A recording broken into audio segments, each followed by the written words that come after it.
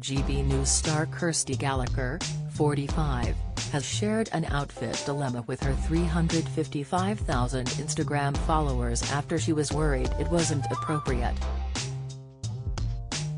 Kirsty showed off her sculpted arms in a black halter neck jumpsuit as she posed in front of a staircase. The presenter wore her long brunette hair in a sleek ponytail and styled the look with gold jewelry.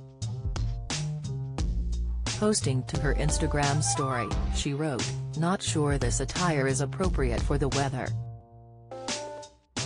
But it is Christmas. It comes after Kirsty announced she was stepping back from GB News due to a health concern. The presenter had quit Sky News to join the channel and co-hosted The Great British Breakfast since it launched in June she broke the news to her followers in a statement that read, During the summer I discovered I have a tumor in the inner canal of my right ear. Thankfully, it's benign and not hugely detrimental to my normal life. However, the tumor has caused severe tinnitus which makes it very difficult to sleep. Sadly my 3 am starts at GB News, compounded by sleep deprivation, are exacerbating my symptoms. I have taken the difficult decision to take a step back from my role on the Great British Breakfast while I focus on my health.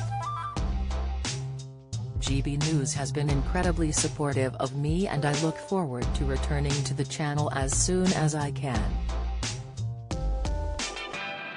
As I adjust to managing my condition, I will carry on my less disruptive work commitments and continue maintaining a healthy lifestyle and training so I can get back to my normal routine quickly.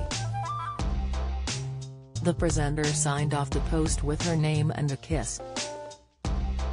The post received almost 16,000 likes and hundreds of comments from concerned fans and loved ones. GMB's Charlotte Hawkins penned, Oh no, so sorry to hear that, sending love. Former Coronation Street actress Catherine Tyldesley added, Oh darling. Sending healing and a bear hug. Get well soon. Paddy McGuinness echoed, a bit of time out, get yourself right and you'll be back stronger than ever. GB News' own social media page also commented, writing, wishing you all the best at the real Kirstig and good luck with your recovery, from all your friends at GB News.